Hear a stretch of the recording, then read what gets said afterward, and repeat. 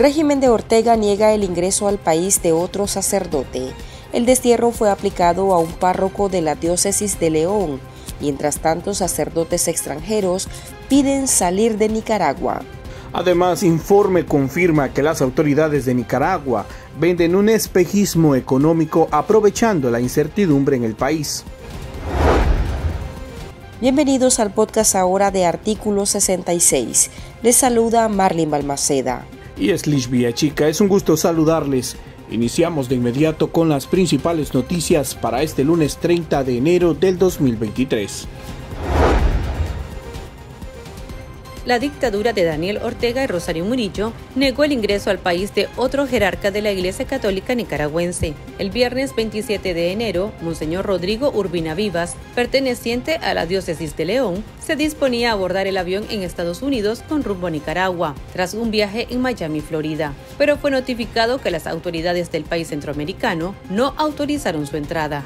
Monseñor Urbina, párroco de la iglesia San Juan Bautista de Sutiaba, sobrino del fallecido obispo de la diócesis de León, Monseñor Bosco Vivas, y conocido por aparentemente simpatizar con el partido gobernante FSLN. Al momento, el actual obispo de León, Monseñor René Sándigo, ha guardado silencio. Asimismo, se conoció del exilio forzado de dos sacerdotes de la diócesis de Matagalpa, cuyo obispo Rolando Álvarez está encarcelado.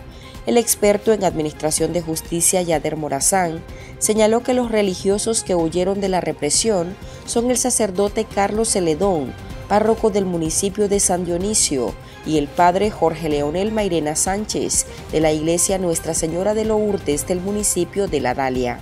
En los últimos meses, el régimen de Daniel Ortega y Rosario Murillo han desterrado a otros dos párrocos y un fraile, al mismo tiempo que han expulsado y obligado al exilio a más de 50 religiosos, entre sacerdotes y monjas, mientras tienen en la cárcel a más de una decena de miembros de la Iglesia Católica. El domingo 29 de enero, el cardenal de Honduras, Óscar Andrés Rodríguez, alzó su voz por los sacerdotes condenados por la dictadura de Nicaragua por una justicia mal administrada o manipulada. Los hermanos de la iglesia de Nicaragua, injustamente llevados a tribunales con acusaciones falsas. ¿Cómo pueden ser dichosos esos jueces que saben que están actuando injustamente? ¿Creen ustedes que tendrán paz interior? O cuando dejen esos cargos que van a poder dormir en paz, cuando la conciencia les está diciendo, haces mal, has hecho mal. Dichosos los perseguidos por causa de la justicia. Aquellos por actuar con justicia responden a las injusticias. Por su parte, el cardenal de Nicaragua, Leopoldo Brenes, informó el domingo que los neocatecúmenos extranjeros de la Arquidiócesis de Managua están pidiendo regresar a sus países de origen, tras ser ordenados como sacerdotes en Nicaragua. El cardenal dio el anuncio un día después que un grupo de 11 seminaristas fueron ordenados sacerdotes en Managua. En el grupo se encontraban unos cuatro diáconos de Honduras. Conversamos sobre el tema con la doctora Vilma Núñez de Escorcia, presidenta del Centro Nicaragüense de Derechos Humanos, CENIT definitivamente está prácticamente desterrando el régimen Ortega Murillo del país, violándole su derecho a la libertad de movilización, a impedirle su derecho a entrar y salir de su país en el momento que quiera y desee. Y en segundo lugar, que es su investidura, es la de un obispo en funciones en una iglesia en la ciudad de León y condenamos enérgicamente esta arremetida sin límites que se está impulsando.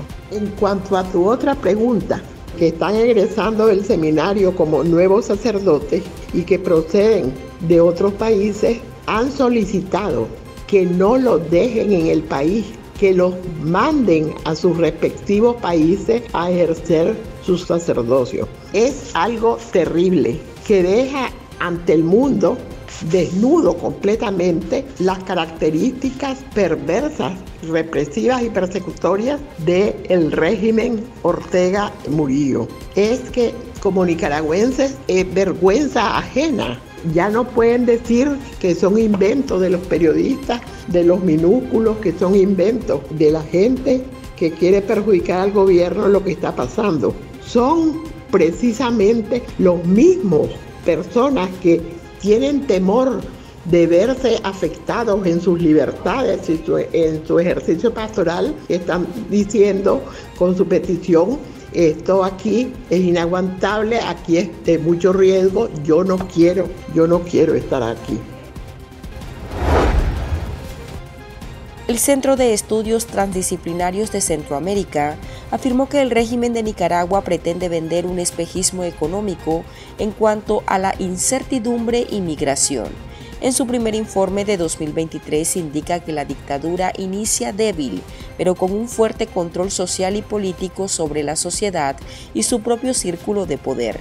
Explica que este escenario de país es parte de una Centroamérica en disputa abierta entre los remanentes autoritarios y las tendencias hacia la democratización. SETCAM resalta que aún con el control total del Estado, uno de los flancos más débiles de la dictadura es la economía ya que aun cuando existe un desempeño positivo de los indicadores económicos, este contrasta drásticamente con una situación de mayor pobreza, desempleo y desesperanza de la población.